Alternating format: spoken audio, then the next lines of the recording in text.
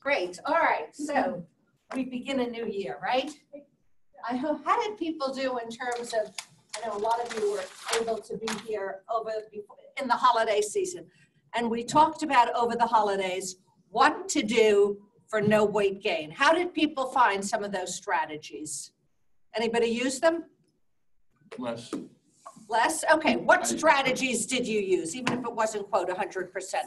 smaller portion. Smaller portions, less sugar, and also, you know, it's not, I never say you're not gonna eat a piece of dessert on Christmas Eve or Christmas Day. Just as, you know, the day we did the several thousand calories for Thanksgiving, you don't wake up Thanksgiving morning and say, you know, today's gonna be a weight loss day. You know, that's not gonna happen. What you have to say is today's not gonna be a fast, extreme first weight gain days of a cascading series of weight gain days. So if you use some of the strategies over the holidays, how many people found they were able to, even if they had sweets, they were able to have less sweets less often?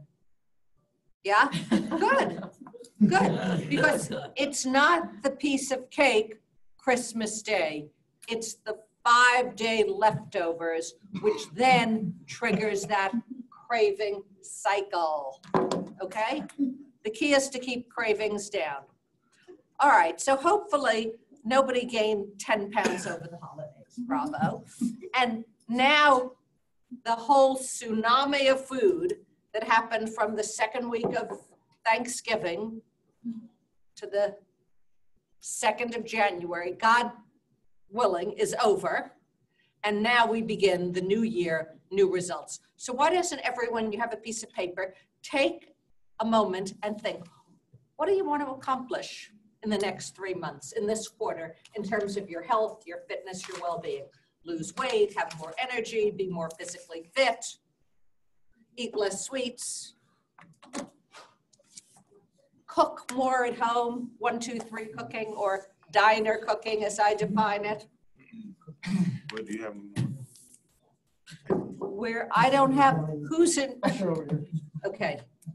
I think they were put out somewhere and Courtney's Oh, in okay. charge, so They put it on. there might be somewhere, okay.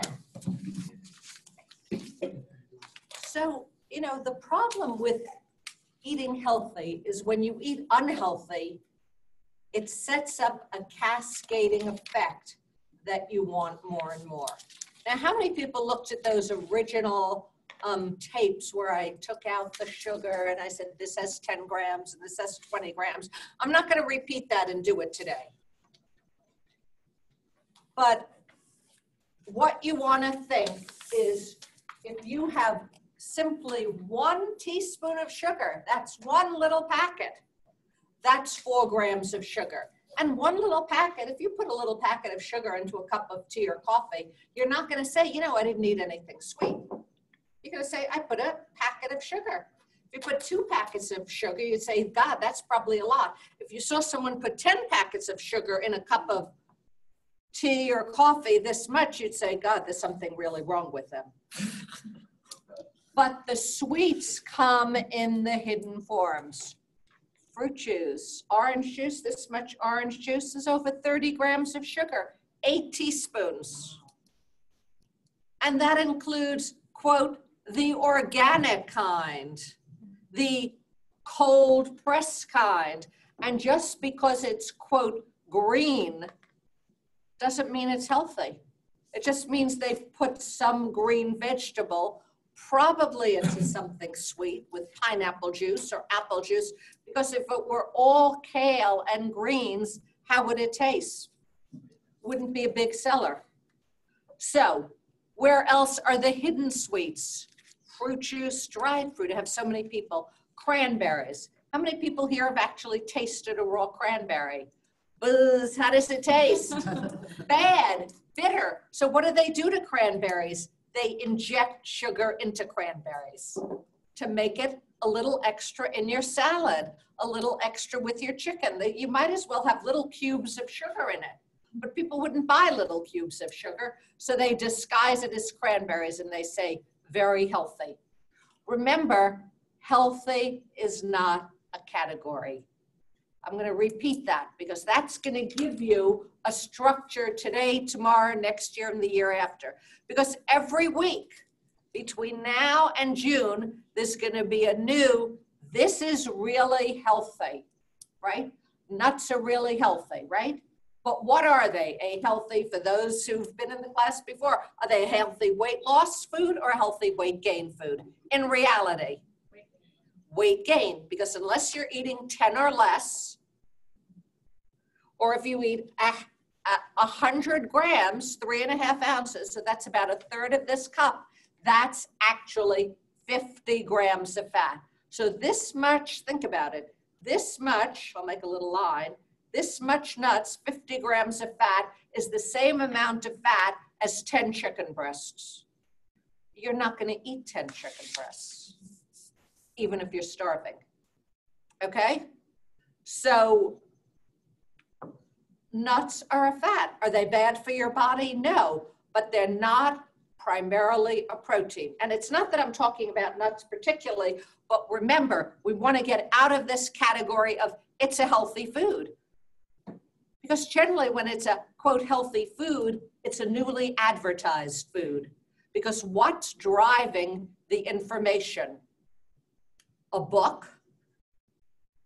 And a book has to be exciting. You know, I, I tried to write a book and I wrote a book. I had like the first four chapters. And I had a friend who knew someone, an agent, and they said, you know, this is a great book. I'd love to meet you, but it's not going to sell.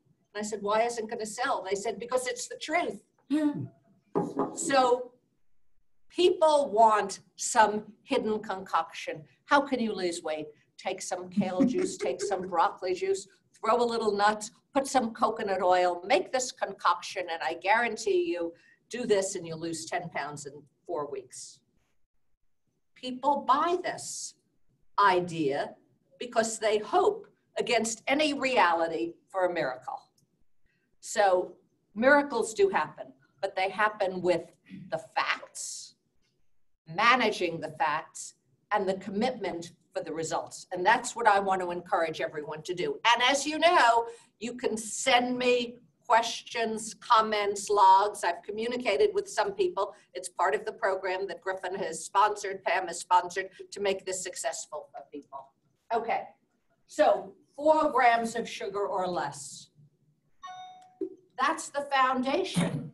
Why is it the foundation? Let's review when you eat a sugar or sugar products, orange juice, Odwalla juice, frozen yogurt, etc., your blood sugar spikes. You get that rush, you get that energy, and what happens two hours later? Correct. Two hours later, your pancreas, in response to your blood sugar falling, in response to your blood sugar rising rapidly, has to secrete more insulin. And insulin is a hormone that converts calories to fat. So if you eat a calorie, do you want it to convert to fat quickly? Or do you want it to burn? You want it to con- you want it to burn because if it converts to fat quickly and you end up not just quote weighing more, but having a higher percentage of body fat, fat metabolizes slowly. So you want the opposite. You want foods that help your body burn the calories, have an even energy, and keep you going over time and the what if you say i can only if you want to start out quote slowly which there's nothing wrong with that where you want to do one thing to improve your well-being it's stay away from sweets. Now i'm not saying this is easy and i'm not saying this is not about breaking that social cultural habit. I made this for you we're all having dinner together. How can you not eat my homemade apple pie, cheesecake, blueberry muffin, French toast, etc., etc.? I'm going to be heartbroken. Well, the truth is, you're not going to be heartbroken. You're going to be heartbroken if you eat this. Okay, four grams of sugar or less. The second thing is managing the starches. Now, you know, what's a starch? Let's go through what a starch is. Bread, rice, potato, sweet potato, corn, Quinoa, a lot of people say quinoa is protein. Quinoa has protein, but it's primarily a starch. Beans and lentils, people say, oh, beans are a protein. Beans have protein, but at the same time, they're also a starch. Now, I'm not saying don't eat starch. There are lots of quote diets out there. People say, I'm never going to have bread, I'm never going to have a potato. How long do you think that lasts? The first four weeks of the year, like going to the gym. You know, never go to the gym the first three weeks of January. By the second week in February, it'll be pretty empty. Okay. So I don't believe in a no starch diet because the body needs the balance of proteins and carbohydrates and some fat. But that doesn't mean it's free. So I'm saying about 30 grams per meal. That's what I call two traditional slices of bread. I mean, you have to be, you know, over 40 to remember what quote a traditional slice of bread is because we don't get traditional bread anymore. We get a bagel, right? How many pieces of bread in a bagel? Five. Why? Because I think I brought a bagel in here once. You know, they're about as big as a, a plate. Well, then it's not going to be two pieces of bread or what bagels used to be traditionally 160 calories. What is it going to be? 400 calories. Okay. You go out, you get pasta. It's always a double. Even if you order a half portion, it's probably more than a single. If you look at a box of pasta, so people say to me, Oh, I eat whole wheat pasta. I say, Really? And do you think whole wheat pasta has less calories, less carbohydrates than regular pasta? People say, But it's good for me. That's the same category as it's healthy. Good for you and healthy is not a category. Categories are proteins, fats, carbohydrates, how much in each of these category or things that have two categories. But healthy and good for you is not a category. If you cut through that crap, pardon my French, you'll understand that you can manage your foods using thinking, using intelligence, not going for the newest advertised for this week, this month, this year. Okay? So you can stay, quote, in control and go down the lane of healthy, strong living. Okay. So starch, 30 grams per meal. That's a small potato. Not, as I brought in couple months ago, a supersized potato, which is a football. It's about three quarters of a cup of rice, even pasta. Very hard to do pasta because we buy it in 16 ounces and you really have to divide it appropriately to keep it at about one and a half ounces or 30 grams of carbohydrate. Okay. Now, if someone says, Janet, I really want to lose weight quickly, effectively, it's the first of the year, I want a kind of a boost, I want to jumpstart. One thing that is helpful is to double the vegetables and get rid of starch at dinner, not all day long.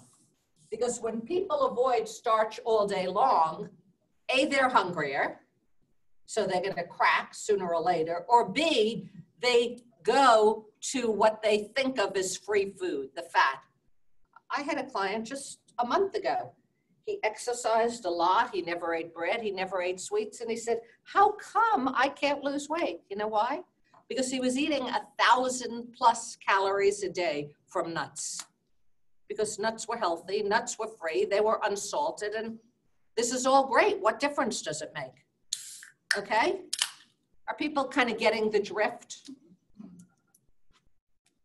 So for weight loss, and I think January is a good time to kind of boost it up. A lot of people do, I don't know about this crowd, but a lot of people do a January um, pause in drinking, right? Because December tends to be, December tends to be an excess of drinking month. So a lot of people say, okay, I know I relaxed. I know I had a little too much in December. January is my pause month, which is not a bad idea because you're not saying I'm not going to drink, which of course is unrealistic, but you're saying I'm going to put a halt on it. I'm going to shift gears. And then come February, God willing, I'm going to be able to integrate this without too much of a slide up. But in terms of the starch, really easy to double your starch rather than have, I mean, double your vegetables rather than have your starch in the evening. And that does really help if you want to get on a good weight loss track. How many people feel that's some of their goals for the next three months? Like, yes, I want to take the five, 10, et cetera off, and I want to do it without too much of a hassle. So if you thought of three steps you're going to do, what, what's so funny? no comments. All right, I won't make anyone embarrassed. All right, so not having double vegetables really makes the difference because if you don't have the vegetables and you don't have the fiber, you're going to be hungry. And you know, if you're hungry, you're not going to stay on track too long. This has to be an easy, relatively easy plan without counting a thousand things, without too much of a hassle that you can just integrate in the process of everyday living. Because if it's too many counting, oh, a calorie has more sugar than broccoli, forget it. Okay? Does this make sense? Does this seem, how many people feel they could do two things? No sweets, no double starches. Oh, come on. Okay? And you know, will you, Even- right? Even if you can do that alone, it makes a huge difference. Okay. Then the fourth thing, limit fat. Now, fat is harder because you can see a potato on your plate. You can see four pieces of bread on your plate or two bowls of pasta on your plate. What you can see necessarily is the five to 700 calories of added fat, particularly in restaurants. How many people here actually prepare their meals at least four times a week? Good. Good. One, you save money. Two, you save calories. And three, you can buy better quality food ingredients when you make it yourself because the restaurant world, the fast food world, the takeout world is always going to keep the quality down to manage the costs. So saturated fat. Saturated fat, you want to not have over 18 grams a day. Now, where are the really, I think earlier we did the, the, um, early in the quote, let's call it semester, for lack of a better word, I handed the, th- the uh, folder about cholesterol and saturated fat. So where are the high saturated fats? People often think of eggs as high in saturated fat. Truthfully, I wish it were eggs that were the worst offenders because we don't eat that many eggs. Sadly, cheese, cheese, and you know, cheese is, I happen to love it myself, cheese is delicious. And you don't have to cook it, you just have to slice it. And it's so easy. You have one slice, ah, it's good, it's got a little salt, you have another, you have another. But cheese per ounce. Now, you might say, what's an ounce? Everyone can kind of visualize what a slice of American cheese is. That's an ounce. So if you have an ounce of full fat cheese, you can easily have six grams of saturated fat. You have two slices of, of cheese, you've got 12 out of your 18 grams of fat, saturated fat. So the high saturated fats, cheese, bacon, sausage, fried foods. And remember, you can have a potato chip where the label says no cholesterol, but that doesn't mean it has no saturated fat. Okay? So you want to actually look at the label and see what the facts are. But the biggest one is cheese, pizza, pasta, sandwiches, eggs. You know, cheese does make everything taste better, but it's a lot of fat. So there are several ways to do it to manage it. Either A, have less, or B, there are some decent lower fat cheeses. How many people have tried the Cabot low fat cheese?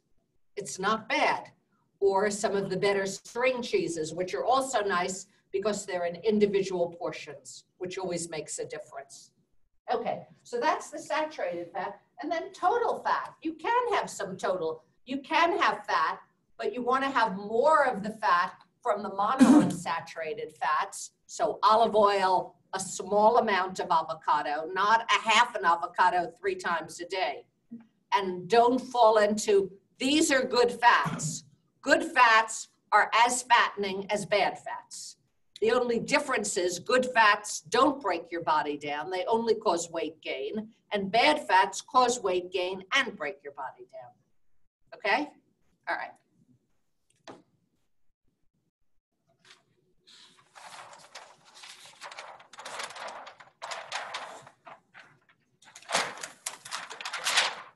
Okay, did everyone write down a first quarter goal? Okay. Because you want to have something practical that you're going to do and that you're going to track your own results rather than drifting. You know, you want to have a defined goal that you can measure the results for. Less sweets, manage the starch. Now, the third thing, some people say, you know, I can eat less sweets, I can eat less starch, but I'm hungry all the time. And the antidote to the hunger or the antidote to the cravings is protein. Because just as sugar and carbohydrates are short acting fuel, i.e., they raise your blood sugar quickly, cause your blood sugar to fall several hours later, protein is a long acting fuel. It breaks down slowly. It gives you more energy throughout the day. So if you had a big presentation, a big project, when I see young people who are taking the SATs or other long exams, I say, have a big piece of salmon and a small sweet potato for breakfast because that kind of super fueling will keep your brain going over a longer period of time. Most people do way better with protein in the morning as a way of giving your body a foundational place so that your energy stays even and you don't start that overfueling with the sweets or the carbohydrates. So let's look at some ideas. What can you do for breakfast? And I'm not saying don't have a starch because we talked earlier about keeping the starches about 30. Eggs, eggs, egg white combination, low fat cheese, plain yogurt mixed with fruit. You can use two tablespoons of walnuts or almonds or slivered almonds, cottage cheese, stir fry tofu. Now, some people say, I got to have something quick and easy. I'm running out the door. So if you're running out the door, maybe you do have a cold cereal without a lot of sugar, like a Cheerios or a shredded wheat, or you make a quick hot cereal. But then you know at 10 o'clock, I'm going to have to give my body a protein boost rather than a carbohydrate boost. And certainly people here can keep in the office in their refrigerator a yogurt with their own fruit, a cottage cheese with their own fruit. If you're dairy intolerant, have you can buy the 100 calorie package of nuts and a piece of fruit, but the protein will fuel you in the morning. And then that'll prevent the overfueling later managing added fats in restaurants. This is critical because we do, culturally, we do more takeout, we do more food as entertainment on the weekend. And the problem with eating out is essentially two things if you're sitting down. One, portion sizes are double. And not only is the volume of the portion double, but the fat that is added is probably triple. Because what does fat do to food? If I had a chicken breast and I use no fat, it's going to be tasteless. If I use a ton of fat and a little cheese, it's going to be very yummy. So you don't want it tasteless and you don't need it necessarily very yummy. You want to do something in the middle. But when you have the restaurants, the restaurants have to, you know, seduce you to come back again and to have it better than the competitor. So to have it better than the competitor for the same quote dollar, they say, aha, we're going to give them a bigger portion size. Therefore, we're going to encourage that people say they quote, get their money's worth. And they're going to make it very tasty. So they might say, you know, let's say normally you'd have a piece of fish and you might put butter on it. Oh, no, we don't use any butter. Never use butter. We use olive oil and then we add a few things. Maybe we put pancetta in it. Maybe we put cheese in it. Maybe we put um, anchovies in it. What do you think all these things are? Fat. And every gram of fat has nine calories. And I hope this isn't sounding too depressing. Is this sounding depressing? Because the good news is that you can actually have tasty food within these categories. And most of the time when people say, oh, I love food, I, because mostly what I do is individual counseling, I look at people's diet logs and it's not that they're going to, you know, terrific restaurants and eating yummy food. It's that they're eating leftover day old kids pizza or stale popcorn or something they don't like. But when I say, well, why did you eat that? They said, oh, it was there. You know, think about how many times you've had X, not because, oh, I really want X or God, this is delicious, but it's there. You know, if you just didn't eat it because it's there, it's a whole different mental thing. But that means unlocking or untying that automatic piece in your brain because, you know, studies have shown food captures our brain. And if we think about what's what is America's biggest addiction, meaning it's everywhere because people can't live for five minutes without it sugars and double starches, wrap a little fat, wrap a little salt, wrap a little flavoring. You know, I'm sure some of you can remember when there were like four kinds of potato chips. Now there are 40 kinds of potato chips. You know, I've spoken to people who come here from other countries and they go into the grocery store and they're like totally freaked out because they can't make any decision. There are 100 cereals, there are 40 chips, there are 50 cookies.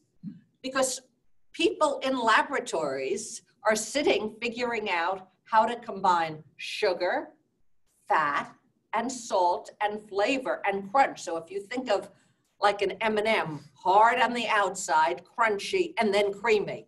And that triggers the brain like, I want more. I must have more. And your rational brain can't overcome that, right? Once you have one, I don't think you know, maybe one person here out of the whole crowd, and I'm not going to include myself in that, can have, you know, three M&Ms. You have three M&Ms, you're going to have 30 M&Ms. Or you have one potato chip, you're going to have 30 potato chips, especially if it's in a big bag, in a big container. If it's in a small container, you have a fighting chance to just finish that and not open another one. You know, for those who've heard me talk about Brian Wansink and his studies on we eat to the bag you know, you have, he did the experiment with the, the never ending soup bowl and people just kept eating. And the students ate the stale popcorn. Why?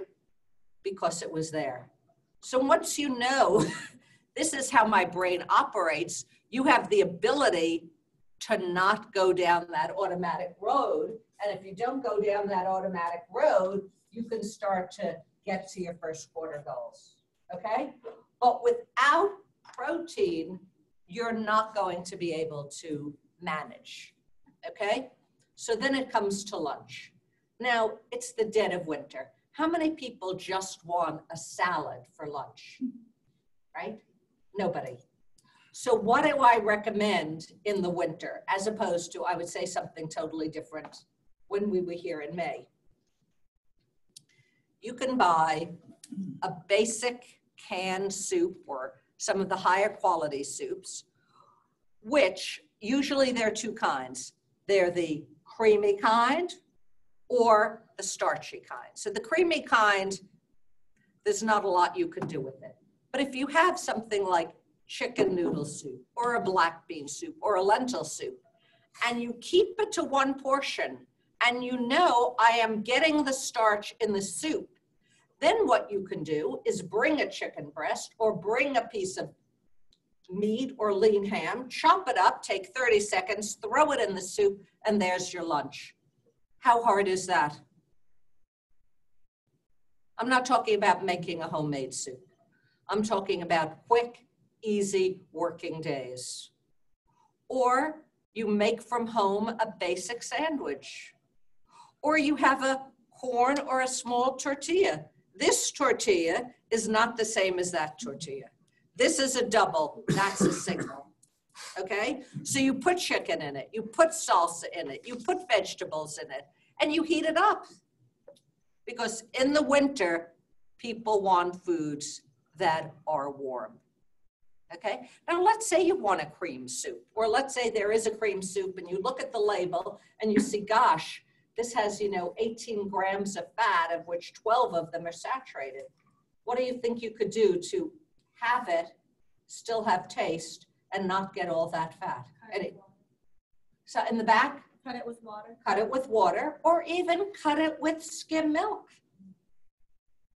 You know, you put half that fat into it, you add some skim milk, you brought the fat down 50%. Will cutting it with water um, reduce the sodium at all, or? Well, if you use half the amount, yes. Absolutely. Because if you had a, let's say, a cup of Campbell soup, which has 900 milligrams of sodium, and, and remember, the jar is actually two, the, the, you know, the aluminum jar is actually two cups. So if you had two cups of Campbell soup or any soup, it's, it's your whole day sodium. It's 1,800 milligrams of sodium. So if you had a little less than one, and then you put water in it, you're cutting it down. And then you have a fighting chance that the rest of your day has a more normal sodium amount.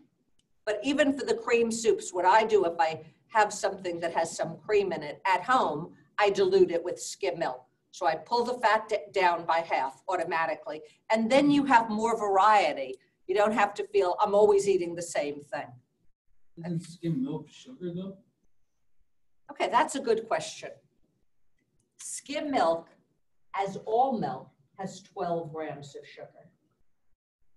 In my 30 years of working with people as a nutritionist, I have never seen anyone's blood sugar spike with a glass of skim milk.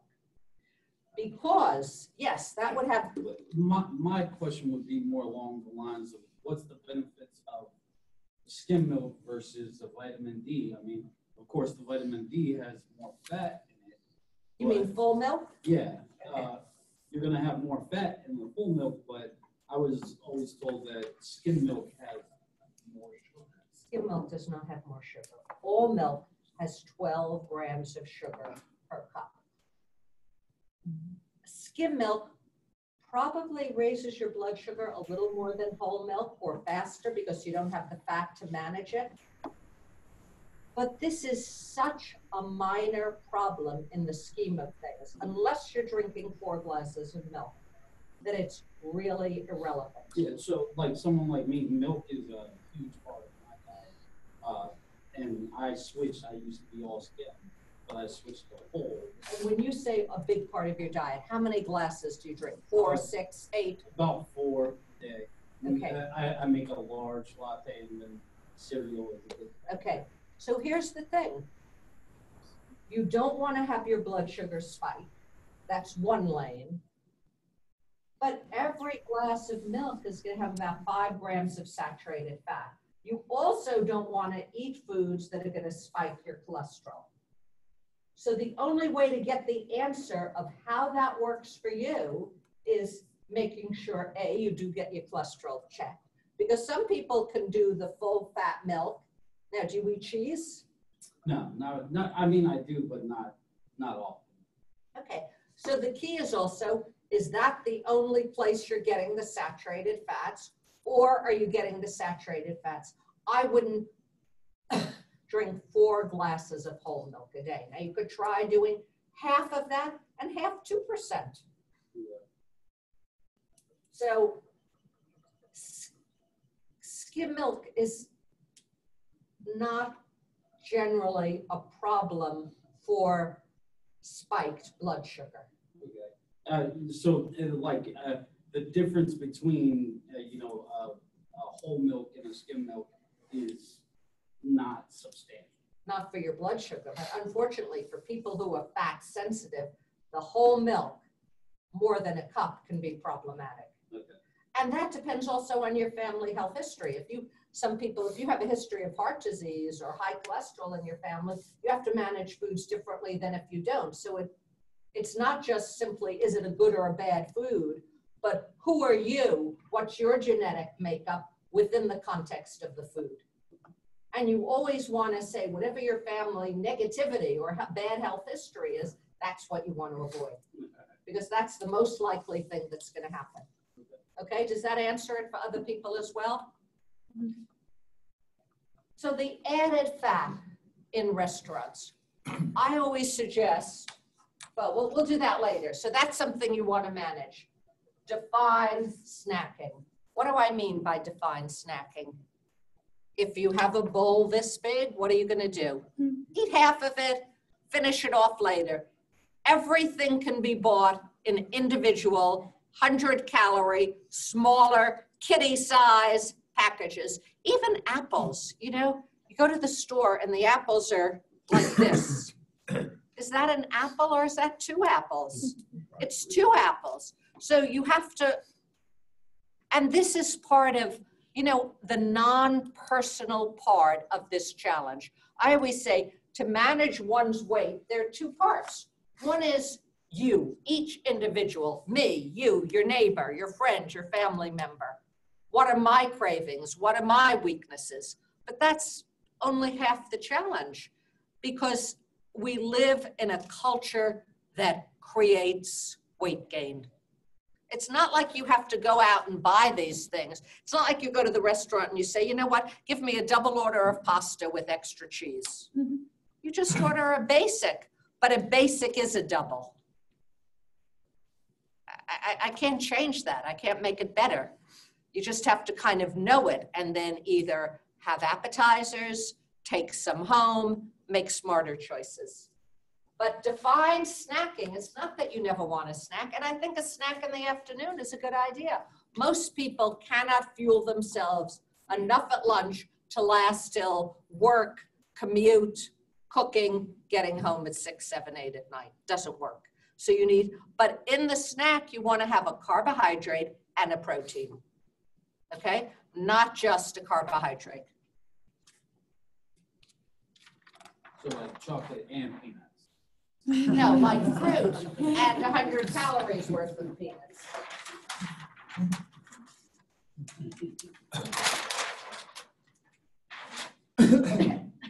So,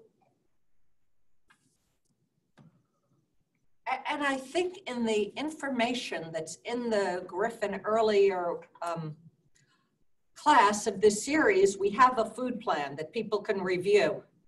It's still all up, isn't it? Because we did the grocery list. How many people have reviewed the grocery list and the food plan?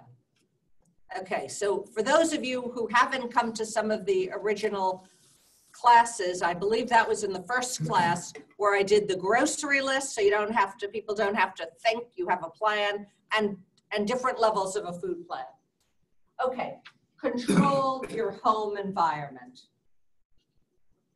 Studies show that if you have cereal, pretzels, popcorn sitting out, is that going to lead to success or less success? There's a whole theory of, quote, thin by design. It's not that you eat less by having a big plate and saying, I'm going to eat half. Does that work? Does how many people have found that as an effective strategy? Doesn't work.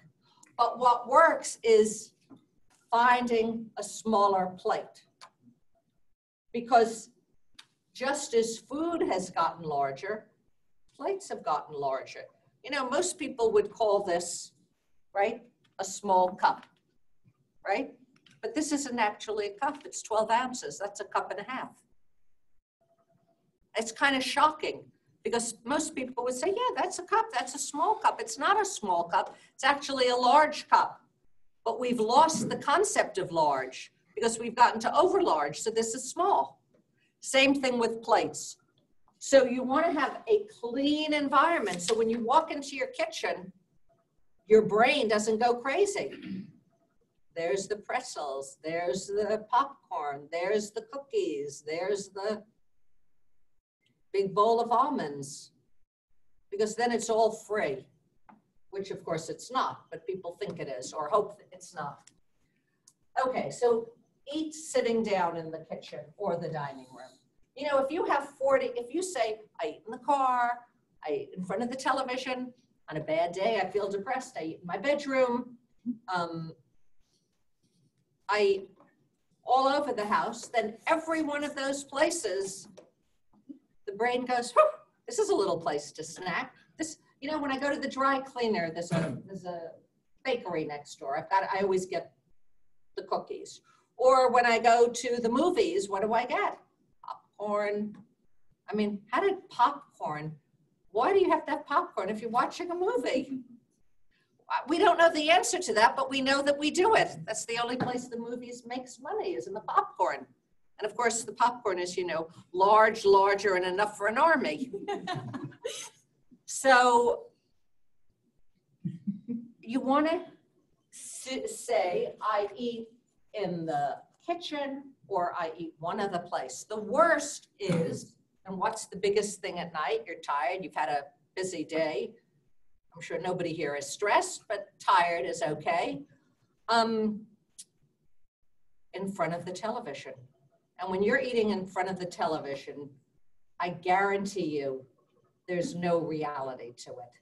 It's like that calming of my hand, my mouth, my problems disappear for these five minutes or these 20 minutes or this half hour that I'm consuming A, B, or C. The world disappears. I can't believe I ate the whole bag, right? So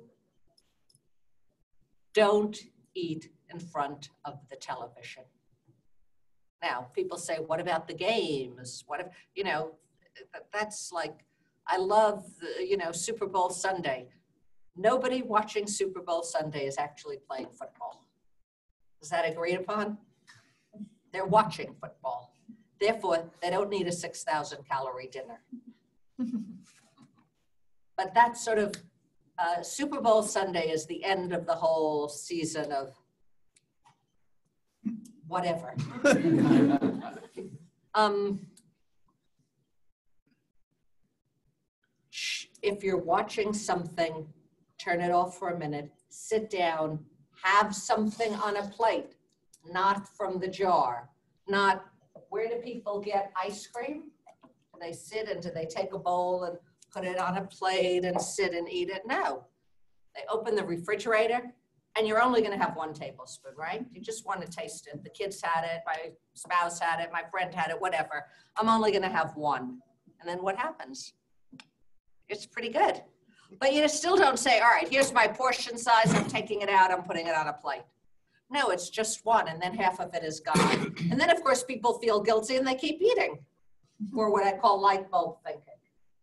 Okay, so you choose a spot, not in the car. Car's not an eating spot. The bedroom's not an eating spot. And the television is not an eating place. Keep your surfaces clean. Get individual size snacks. Now, all of these are small little dots in the equation, but the truth is they actually make a difference. Because to change one's eating habits, it's not the 10 simple rules of eating healthy. If it were the 10 simple rules of eating healthy, first of all, every doctor and nurse would be perfect, right? Because they have the facts. But that's not reality. So it's not simply about here are the 10 healthy rules of eating. I know it, I can do it. What's the problem? The problem is it's a behavioral challenge in a culture of eating is free, it's fun, I feel better. this is fine, but it's not free. And it doesn't make you feel better forever. It makes you feel better for a half hour. And then generally it makes you feel worse. And it's about staying conscious in your brain. This isn't going to necessarily help me. Okay?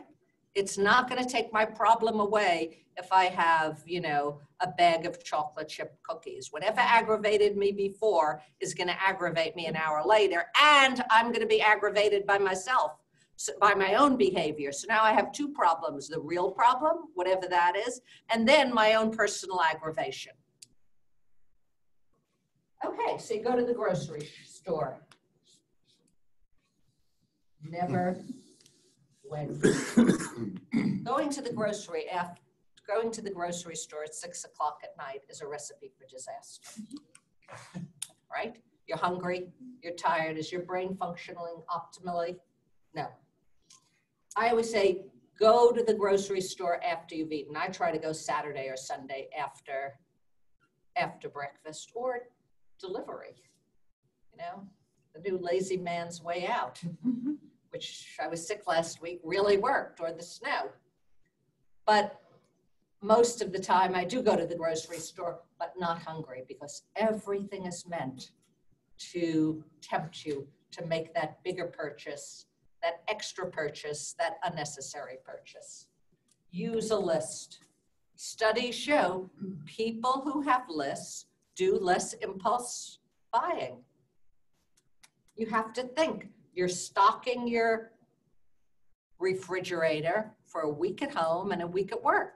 If you're not going in the middle of the week, you have to plan for the week. Read the labels, not the advertisements. The good thing is the labels have the facts. Every label says how many grams of sugar is in this item. But the important thing to remember, like if we think of the example of the Campbell soup, you need to look and see how does the manufacturer, what does the manufacturer define as a portion size? In general, no matter what product, it's way smaller than a person actually consumes. So if you look at any ice cream, high-end ice cream, basic ice cream, all the portion sizes are the same, a half a cup. How many people eat a half a cup of ice cream? None to very few. How many people really eat two ounces of pasta or one cup cooked at 40 grams of carbohydrate? Very few. So when you're analyzing the label, you have to know what's the reality portion size. So if you get a, a, a juice this big, a little bigger than this, and it says it has 26 grams of sugar, but it's really per eight ounces and it has 16 ounces, that it's going to have 52 grams of sugar. Everyone follow that? Okay, great. Cooking, measure food. Now, do I mean you have to measure what you eat day after day? No. But you need to know what does three quarters of a cup of rice look like? And for $5, you can buy these little cups, a half a cup, a quarter of a cup, and a whole cup, and you have it and you put it on your plate. Now, you put it on your plate, you have your rice, you have your chicken, you have your vegetable. What do you think happens if the food sits in the middle of the table? And you're sitting there and talking, or you're watching television and you're alone. So plate your food. Be, don't make enough for the 10 people who aren't coming for dinner. You know? Make enough for that day or if you plan, I'm having a piece of chicken now and I'm going to take it for lunch tomorrow. But then if you eat the extra piece, you don't have it for lunch tomorrow. So you want to make defined portions, not, oh, there's just a little, there's another half a cup of rice left over. I don't want to waste it. Eating it when you don't need it is a double waste. So if you see what three quarters of a cup of rice is, so that you're not spiking your blood sugar, if you see what three quarters of a cup of potato is, then when you go out to a restaurant or you do takeout and they give you that much, you say, hey, that's a double, I don't need it, rather than the double as normal. Okay?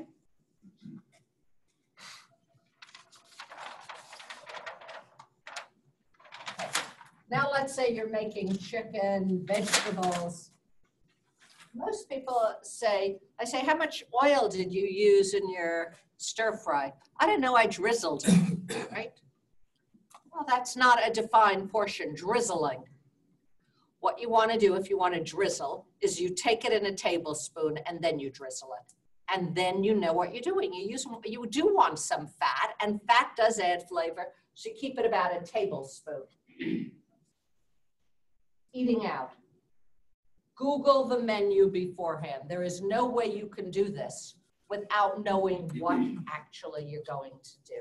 And then, because when you get to the restaurant, I love the way waiters, they almost, you know, they kind of seduce you into, oh, the appetizer, blah, blah, blah. And then they go on and on and on. And if you're tired, if everyone else is having, it's so easy. We made this homemade pasta bolognese. It's got a little cream. It's always light cream. No one ever says we put heavy cream in that because they know it's not going to sell. Little light cream, only a little bit of cream. Then you taste it and it's all cream.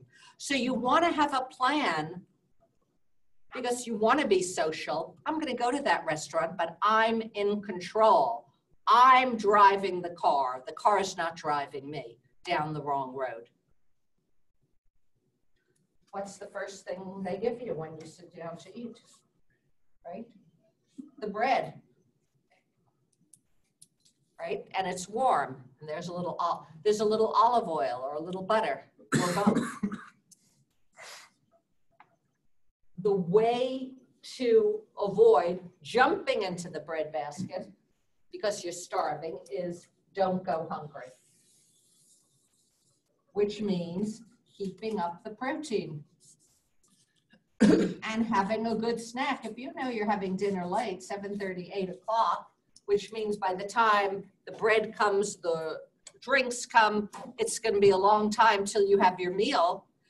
You need to have a couple slices of turkey, something, a couple slices of ham, a low-fat string cheese, something to hold you that you don't have three pieces of bread or a half a bag of chips before the meal comes. okay?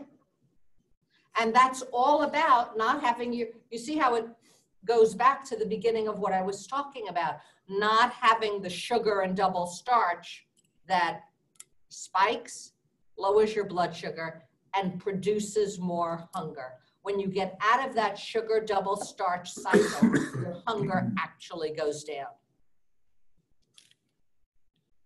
Now, you have the meal, you manage the starch, let's say you have no bread, you have one potato, or you say no potatoes, double starch if you're on a weight loss beginning plan. But the problem within a restaurant desserts, it's not simply do I want dessert, but people eat in the same rhythm or the same time. And so you can't just sit there when everyone else is having, you know, chocolate cheesecake. Get a tea, get a decaf cappuccino, get, there's less fresh fruit in the summer, get something so you keep in the same rhythm as everybody else. Okay?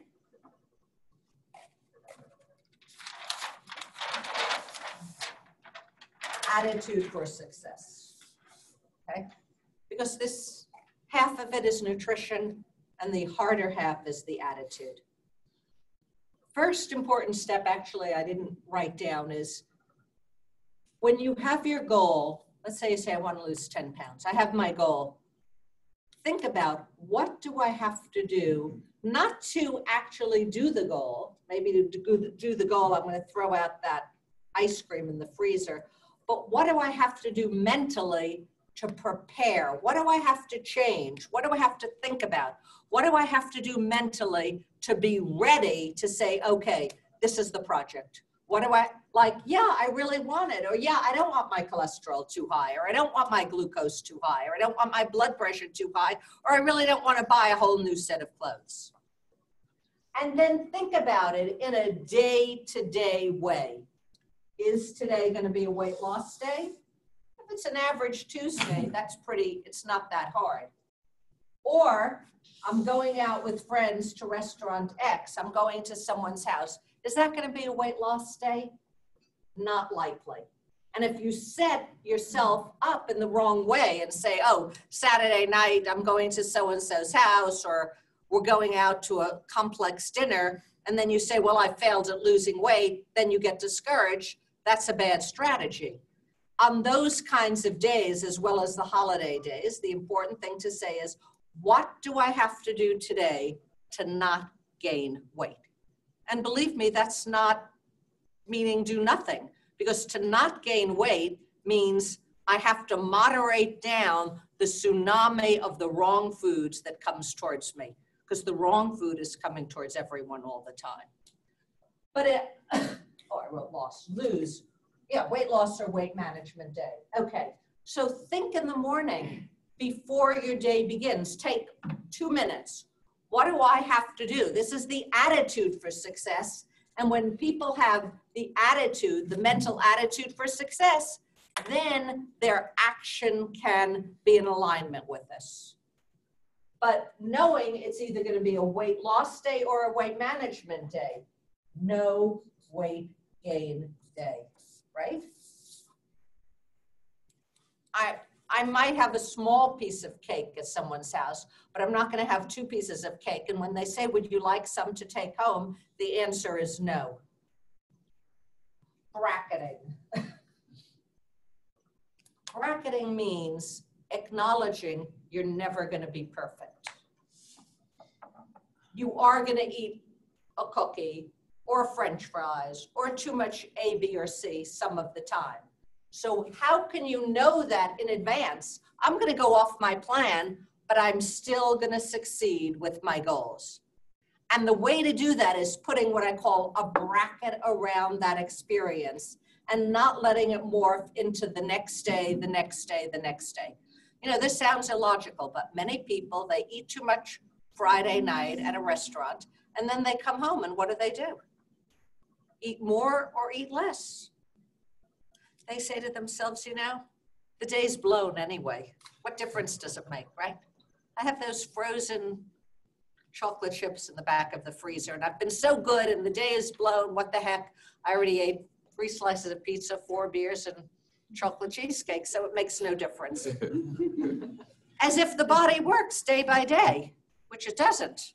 Works total volume. And then it's Saturday. How many people start a diet on Saturday? No one. okay, so they wait till Monday and then they keep gaining weight the entire weekend, as opposed to I ate too much Friday night. That's the end of it. I bracket it and I keep going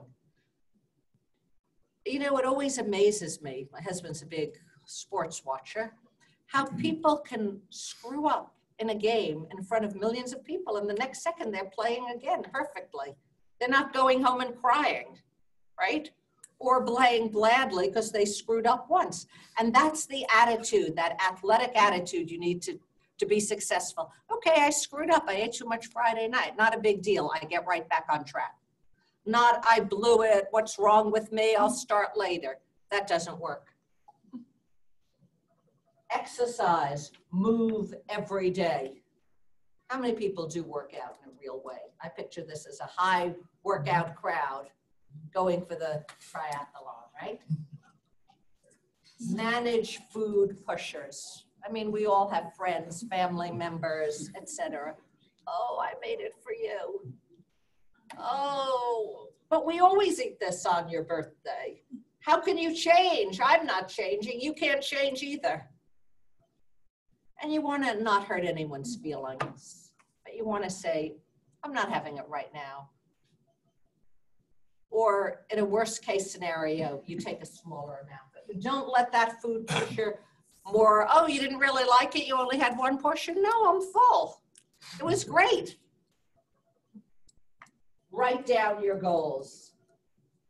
Give yourself a non food reward, whatever that might be. And the most important thing never give up. Because what are you giving up on? Your health, your well being, your future, your presence, your energy. So, another thing that helps is writing everything down. Keep a log. I think I sent some forms. Keep a log, have a goal, find a buddy. And using these techniques, when people use these techniques or when people do what I say, they get results. The good news is they can get results. The bad news is they have to actually change from their old patterns. Okay? Any questions or comments? Yes, what would you say is a good like bread substitute? I'm sorry I didn't hear you. What would you say is like a, a good like bread, if you're trying to like eliminate, I guess, starch, what would be like a good thing, uh, like a bread thing that she could eat instead of bread? Panini or What type of starch would be better, best to replace with the normal bread? A, a more complex carbohydrate, beans, lentils, sweet potato. You mean for breakfast, lunch, or dinner? I'll say lunch. I would have a small potato, a small sweet potato, quinoa, lentils, any kind of bean, black bean, navy beans, cannellini beans, anything of that, because the complex brown rice, because the complex carbohydrates break down slowly, and therefore they keep your blood sugar more even. But even with the healthy complex carbohydrates, it's critical to manage the portion size. Okay, other questions or comments? Yes, How do you feel about oatmeal?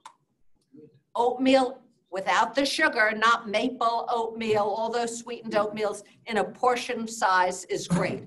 Sometimes you might put a little nuts in it or have a hard-boiled egg later as a way of having protein, but oatmeal is fine when it's unsweetened.